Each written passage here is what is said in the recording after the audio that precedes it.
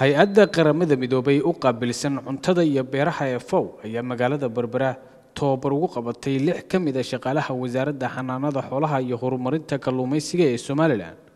Tobabarkan oo ku saabsanaa sidii kor loogu qaadi lahaa aqoonta iyo tayada kalluunka ay u leeyihiin shaqaalahaasi iyadoona tobabarkaasi si toos ay u fulinayso hay'adda fow. Tobabarkan ayaana socon doona muddo toban maalmood ah iyadoona marka tobabarkaasi ay dhammaystaan shaqaalahaasi loo diri doono jaamacado kala duwan oo ku yaala dalka dibaddiisa si ay ugu soo qaataan aqoon dheeraada ugu horeyna waxaa halkaasi ka hadlay madaxa mashaariicda kalluumaysiga ee hay-addaasi fow iyo sidoo kale agaasimaha waaxda kalluumaysiga ee wasaaradda xanaanada xoolaha iyo horumarinta kalluumaysiga iyo sidoo kale khabiir isaguna ku takhasusay culumta kala duwan ee badda maanta halkan waxaan u joognaa tababar la dhaho hasab training tababarkan oo ay bixinayso hay-adda faw iyo wasaaraddu ay wada bixinayaan tababarkan wuxuu daarinayu qayb ka yahay mashruuca loo yaqaana race ee ay bixinayso lacagtiisa ama fankiisa european unionku. Sidaynu ognahay mashruucan race wuxuu leeyahay tree outcome ama saddex ujeedo oo ah in productionka kor loo qaado marketkana in la gareeyo iyo waxa loo yaqaano institutional capacity building. Marka tani waxay ka mid tahay qodobkaas marketingka ama marketka in kor loo qaado oo ah runtii in la tababaro lana helo dad aqoonteeda u leh tayada kalluunka dalka ka baxaya ama ka lagu dhex isticmaalaya dalka. Marka lixdan qof ee maanta la tababarayo tababarku u bilaamayo waa lix qof oo ka mid ah xanaanada xoolaha iyo kalluumaysiga khaasatan waaxda kalluumaysiga lixdan qof waa team inspection team la dhaho. Waxaa la siin doonaa toban cisho oo training ah oo lagu siin doono quality controlka iyo waxa loo yaqaana hasabka.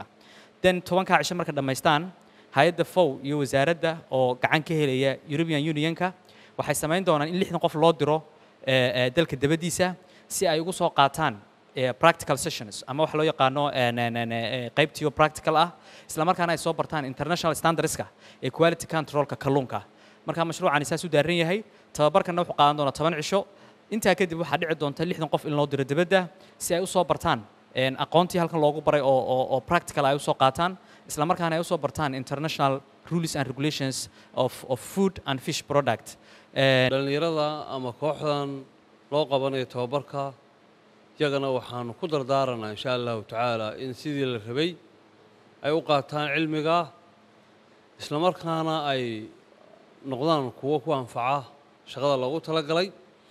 Sidoo kale qorshaha aanu wadna wax weeyaan in gobol walba ama degmo kasta oo goob kalluumeed ah laga sameeyo unitkan oo kale unitkana uu noqdo kii guud ee isku xidhaya dhammaan qaybaha tayada ilaaliya ee shaqaalaha waaxda kalluumaysiga ee wasaaradda xanaada xoolaha iyo kalluumaysiga marka runtii wasaarad ahaan annagoo naga yimi hindisaha in loo baahan yahay in la dhiso unit u gaara dhowrista iyo ilaalinta tayada kalluunka. Aad iyo aadna waxaan ugu mahad celinaynaa fow oo arrintaa macnaha iska saartay xil weyn.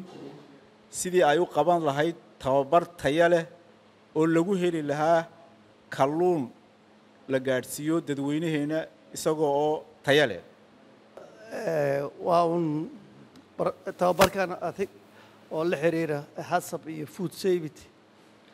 Waa uun kii ugu horreeyey.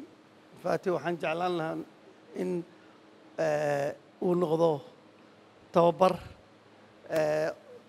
all actors oo value chainka fish value chainka ina labada labada siiyo si ay wacyigelin kaamil ah loo helo. Cabdirashiid cadare m m t v berbera shirkadda isgaadhsiinta casriga ah ee somtel abaalmarinta macmiil noqo milkiile. In ka badan afar iyo toban kun oo macmiil ayaa ku guulaysan doona hadyada ay ka mid tahay maalgelin u dhaxaysa. Kun iyo shan boqol oo dollar ilaa labaatan kun oo dollarka maraykanka. Ku shubo nus dollar ama zero bointy five dollar oo keliya oo isticmaalaya adeegga ii dahab